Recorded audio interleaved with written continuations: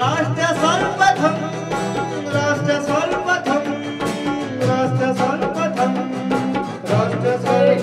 आज राष्ट्रीय मतदाता दिवस के मौके पर उत्तराखंड में हरिद्वार के रुड़की में नमो नव मतदाता सम्मेलन आयोजित किया गया। इस अवसर पर उत्तराखंड के मुख्यमंत्री पुष्कर सिंह धामी भी कार्यक्रम में मौजूद रहे। इस दौरान कार्यक्रम को संबोधित करते हुए सीएम ने कहा कि राष्ट्रीय मतदाता दिवस हमें लोकतांत्रिक मूल्यों और परंपरा को आगे बढ़ाने के लिए अपने अधिकारों और कर्तव्यों का बोध कराता है। हमें इसका प्रयोग पूरी ज़िम्मेदारी के साथ और निर्भीक होकर करना चाहिए। आज ये कार्यक्रम यहाँ पर आयोजित किया जा रहा है। जैसा मुझे शशांक रावत ने बताया कि प्रातः काल साढ़े नौ बजे से हमारे सभी नए मतदाता, सभी विद्यार्थीगण यहाँ पर एकत्र हो गए। ऐसे मेरे सभी प्रिय नौ मतदाता, प्रिय छात्र एवं छात्राएँ, सभी नौ मतदाताओं को अपनी ओर से हार्दिक बधाई देता हूँ, शुभकामनाएँ देता हूँ। क्योंकि ये नव मतदाता सम्मेलन हो रहा है तो इसलिए ये ज़रूर आपके मन में ये भाव आना चाहिए कि आप केवल नव मतदाता ही नहीं है, बल्कि आप भाग्य विधाता हैं, आप देश के भाग्य विधाता हैं। आपके बोर्ड से निश्चित रूप से देश आगे बढ़ने वाला है, क्योंकि देश को विकसित बनाने का जो संकल्प हमारे प्रधानमंत्री जी ने लिया है, देश को दुनिया का सिरमौर बनाने का यानी भारत दुनिया के सबसे आगे चलेगा, पूरी दुनिया भारत के पीछे चलेगी। ऐसा संकल्प जो हमारे प्रधानमंत्री जी ने लिया है, उस संकल्प को पूरा करने का माध्यम कोई बनेगा तो हमारे युवा ही बनेंगे, हमारे नौजवान बनेंगे, हमारी युवा शक्ति बनेगी। देश के नौजवान अगर मतदाता सूची में जो पंजीकृत नहीं हुए हैं तो उन्हें होना चाहिए।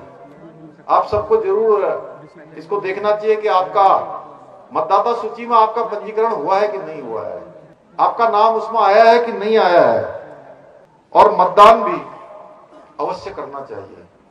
कई बार बहुत सारे हमारे नौजवान, युवा जो पहली बार अपने मत का प्रयोग करने वाले होते हैं, उनको लगता है कि इतने सारे लोग मतदान करने गए हैं।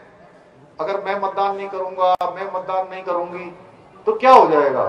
लेकिन आपको पता है एक एक वोट की कितनी कीमत होती है। एक बहुत बड़े आदमी की वोट की कीमत भी उतनी है, जितनी एक सामान्य व्यक्ति की है। इसीलिए कहते हैं कि लोकतंत्र में वोट का सर्वाधिक महत्व है।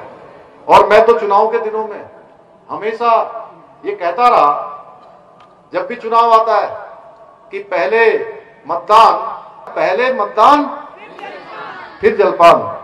क्योंकि यह इतना पवित्र काम है, यह हर किसी को करना चाहिए।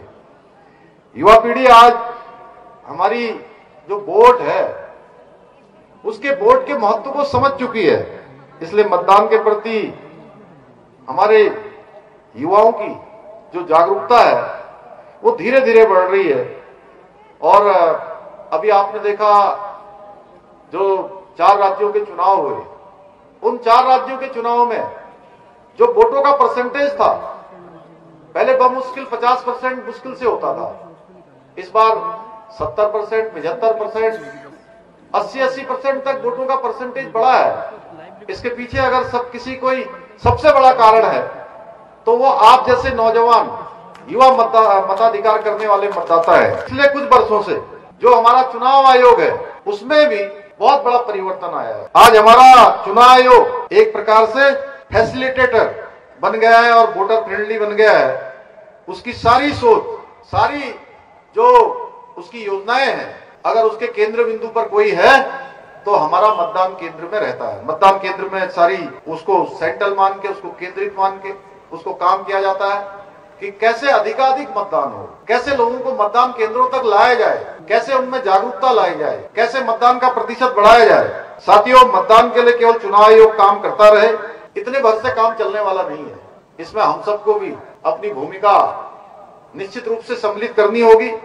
हमें आपको और हमारे युवाओं को स्कूल में, कॉलेज में, महाविद्यालयों में, संस्थानों में, मोहल्लों में जन जागरूकता अभियान चलाकर मतदान का जो माहौल है, वो मतदान का माहौल बनाए रखना चाहिए। तो हमारे प्रधानमंत्री जी का ये संकल्प पूरा करने के लिए, उनके हाथों को और अधिक मज़बूत करने के लिए हमको अपने वोट का सही इस्तेमाल करना है और केवल स्वयं ही नहीं करना है। अपने साथ साथ मेरे युवा प्रिय साथी, वहीं मैं अपनी बेटियों से, बहनों से भी कहूँगा कि आपकी भी भूमिका बराबर की है। इस राष्ट्र को बनाने में हमारे भाई भी, हमारी बहन भी, हमारे बेटे भी, हमारी बेटियाँ भी एक साथ सब कदम मिलाकर आगे बढ़ेंगे तो विकसित भारत बनने से हमको कोई शक्ति रोक नहीं सकती है। राष्ट्र